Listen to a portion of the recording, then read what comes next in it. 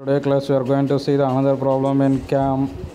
Let us see the problem. Design a cam for operating the exhaust valve of an oil engine. It is required to give equal uniform acceleration and retardation during opening and closing of the valve, each of which corresponds to 60 degree of cam rotation.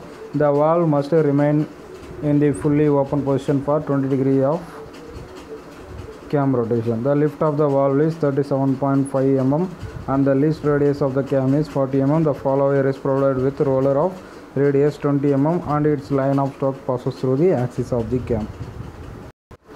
இந்த கொஷனில் பார்த்தீங்கன்னா நமக்கு வந்து opening and closing ரெண்டுமே பார்த்தீங்கன்னா uniform acceleration retardation motion கொடுத்துருக்காங்க அதே மாதிரி sixty degree of cam rotation path both open and close so நமக்கு வந்து அசெண்டிங் டிசெண்டிங் ரெண்டுமே சிக்ஸ்டி டிகிரி கொடுத்துருக்காங்க and remaining fully open position for twenty degrees of cam twenty degrees எதுன்னு பார்த்தீங்கன்னா dwell கொடுத்துருக்காங்க ஓகே இந்த life of the lift of the valve thirty seven point five mm stroke length கொடுத்துருக்காங்க.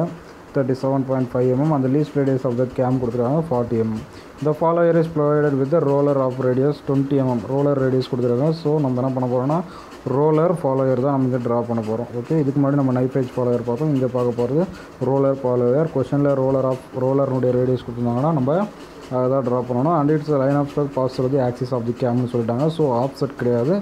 Axis சென்டரை தான் நம்ம follower pass ஆகும் okay first நம்ம என்ன பண்ண போகிறோம்னா டிஸ்பிளேஸ்மெண்ட் டயக்ராம் வரைய போகிறோம் displacement diagram for uniformly accelerated and retarded motion ஏன்னா கொஷனில் பார்த்தீங்கன்னா யூனிஃபார்ம் ஆசல்ரேஷன் அண்ட் ரிட்டார்டேஷன் கொடுத்துருக்காங்க.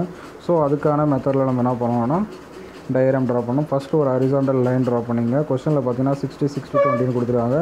ஸோ சிக்ஸ்டிக்கு ஃபஸ்ட்டு ஓப்பன் வால் ஓப்பன் சிக்ஸ்டிக்கு ஹரிசாண்டல் லைன் மார்க் பண்ணிங்க. Next twenty degree fully open dwell next again sixty பார்த்தீங்கன்னா வால் ஓப்பன் ஓகேவா இதாவது அசெண்டிங் டுவெல் டிசெண்டிங் இதான் நம்ம கொடுத்துருக்காங்க sixty twenty sixty so six centimetre two centimetre six centimetre horizontal line draw பண்ணிட்டு next அரி vertical line height நம்ம stroke length எவ்வளோ கொடுத்துருக்காங்க பார்த்தீங்கன்னா thirty seven point five mm so three point seven five சென்டிமீட்டருக்கு வெர்டிகல் லைன் ட்ரா பண்ணிவிட்டு ஒரு box create பண்ணுறேன் கிரியேட் பண்ணிவிட்டு நம்ம ஆஸ் யூஷுவல் சிக்ஸாக டிவைட் பண்ணிக்கோங்க. ஃபஸ்ட்டு வால் ஓப்பன் சிக்ஸாக டிவைட் பண்ணுங்கள் நெக்ஸ்ட்டு வால் ஓப்பன் இந்த சைடு டி அதாவது டிசெண்டிங்கில் சிக்ஸாக டிவைட் பண்ணுங்கள் சிக்ஸாக டிவைட் பண்ணதுக்கப்புறம் நமக்கு தெரியும் uniform acceleration and velocity டயக்ராம்னுடைய uniform velocity sorry displacement diagram எப்படி ட்ரா பண்ணணும்னா இந்த தேர்ட் லைன் என்ன பண்ணணும்னா சிக்ஸாக டிவைட் பண்ணும். சப்போஸ் இங்கே நீங்கள் எயிட்டாக டிவைட் பண்ணிங்கன்னா இங்கே சென்டராகிற லைனை எயிட்டாக டிவைட் பண்ணும். ஸோ இங்கே சிக்ஸாக டிவைட் பண்ணிக்கிறனால சென்டராகிற லைனை சிக்ஸாக டிவைட் பண்ணுங்கள் ஏபிசிடி இஎஃப் ஓகே டிவைட் பண்ணிவிட்டு சென்டர் பாயிண்ட்லேருந்து கீழே இந்த எண்டு பாயிண்ட் ஏலையும் ஜிலையும் கனெக்ட் பண்ணுறீங்க ஸ்ட்ரைட்டாக கனெக்ட் பண்ணுங்கள் டைனலில் கனெக்ட் ஆகும். கனெக்ட் ஆனதுக்கப்புறம் இதுக்கு மேலே இருக்கிற ஆஃபை மேலே ஜாயின் பண்ணுங்கள் கீழே இருக்கிற ஆஃபை கீழே ஜாயின் பண்ணுங்கள் கீழே ஜாயின் பண்ணிங்கன்னா உங்களுக்கு ஏபிசிடி இஎஃப் e, கிடச்சிரும். ஓகே இப்போ என்ன பண்ணுவோம்னா சேம் அதே மாதிரி டிசெண்டிங் டிவெல் பீரியட் பார்த்தீங்கன்னா ஸ்ட்ரைட்டாக அப்படியே லைன் போட்டுலாம் ஜிஹெச் கனெக்ட் பண்ண வேண்டியதான் நெக்ஸ்ட்டு டிவெல் என்ன பண்ணணும்? சேம் அதே மாதிரி சென்ட்ரல் லைன் கனெக்ட் பண்ணிட்டு மேலே அப்பரில் இருக்கிற த்ரீ பார்ட்ஸை மேலேயும் லோவில் இருக்கிற த்ரீ பார்ட்ஸும் இந்த பாயிண்ட் சிக்ஸ்லேயும் கனெக்ட் பண்ணிடணும். கனெக்ட் பண்ணிவிட்டு இங்கே பார்த்தீங்கன்னா நம்பர் ஏ லைன் ஒனில் கனெக்ட் ஆகிருக்கும் அந்த பாயிண்ட்டும் next B two three D இந்த மாதிரி சேம் அந்த பாயிண்ட்ஸ் எல்லாத்தையும் நம்ம என்ன பண்ணணும்? ஒரு ஒன்றா என்ன பண்ணணும்? கனெக்ட் பண்ணிகிட்டே வரணும். கனெக்ட் பண்ணிட்டு வந்தோம்னா நமக்கு டிஸ்பிளேஸ்மெண்ட் டயக்ராம் கிடச்சிரும். ஓகே டிஸ்பிளேஸ்மெண்ட் டயக்ராம் கிடச்சோன்னா நெக்ஸ்ட் நான் என்ன பண்ணணும்? கேம் ப்ரொஃபைல் கேம் ப்ரொஃபைல் பார்த்தீங்கன்னா இங்கே ரெண்டு சர்க்கிள் நம்ம ட்ரா பண்ண வேண்டியது வரும். ஃபர்ஸ்ட் ஒன் பார்த்திங்கன்னா மினிமம் சர்க்கிள் அதாவது பேஸ் சர்க்கிள்னு சொல்லுவோம். பேஸ் சர்க்கிள் நமக்கு தேர்ட்டி செவன் பாயிண்ட் அதனுடைய ரேடியஸ் எவ்வளோ கொடுத்துருக்காங்கன்னா ஃபார்ட்டி கொடுத்துருக்காங்க. ஸோ என்ன பண்ணணும்? ஃபார்ட்டிக்கு ஒரு சர்க்கிள் ட்ரா பண்ணணும். ட்ரா பண்ணதுக்கப்புறம் நெக்ஸ்ட்டு பார்த்தீங்கன்னா நமக்கு கேம் இந்த ரோலர் ரேடியஸ் எவ்வளோ கொடுத்துருக்காங்க பாருங்கள் ரோலர்னுடைய ரேடியஸ் பார்த்தீங்கன்னா டுவெண்ட்டி கொடுத்துருப்பாங்க. So forty plus twenty sixty அதுக்கு ஒரு சர்க்கிள் ட்ரா பண்ணுங்க ரெண்டு சர்க்கிள் ட்ரா பண்ணிவிட்டு ரெஃபரன்ஸ் லைன் ட்ரா பண்ணுறங்க சென்ட்ரோ வெர்டிகல் லைன் ட்ரா பண்ணிவிட்டு நெக்ஸ்ட்டு பார்த்தீங்கன்னா இந்த பாயிண்ட் ஏ இந்த பாயிண்ட்டில் என்ன பண்ணுங்கன்னா அந்த ரோலர் ரேடியஸ் டுவெண்ட்டி கொடுத்துருக்காங்க. டுவெண்ட்டிக்கு ஒரு சர்க்கிளை ட்ரா பண்ணிடணும். ஓகேவா ட்ரா பண்ணிவிட்டு ஆஸ் யூஷுவல் நம்ம இதுக்கு முன்னாடி எப்படி ஆங்கிள் டிவைட் பண்ணுவோம்? சேம் அதே மாதிரி சிக்ஸாக டிவைட் பண்ணிங்க.